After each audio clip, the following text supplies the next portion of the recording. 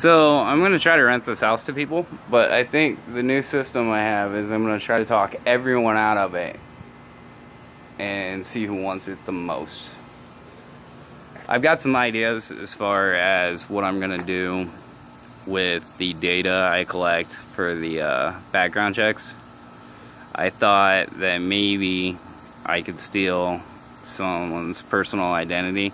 I also thought about putting an ad up I'm gonna walk through the house and give a tour of the house as far as like what it would be to rent for normal and stuff and then post it on YouTube and maybe on Facebook with a link to the YouTube clip.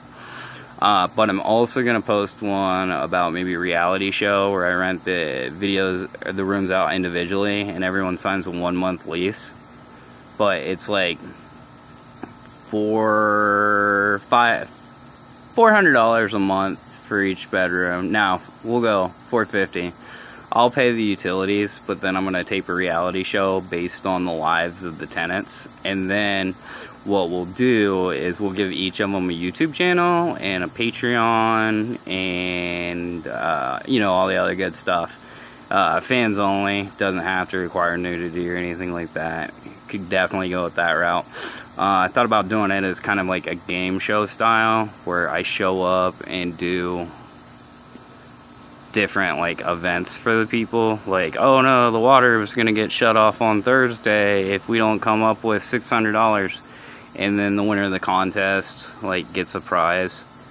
Uh, or america votes on who gets to stay and who gets to go. Well that's actually not an or that's part of it.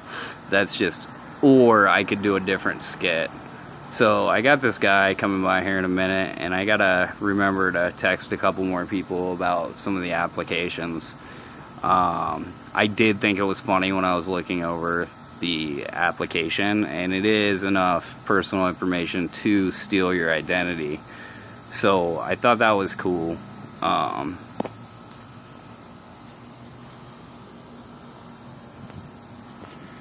that bastard snow.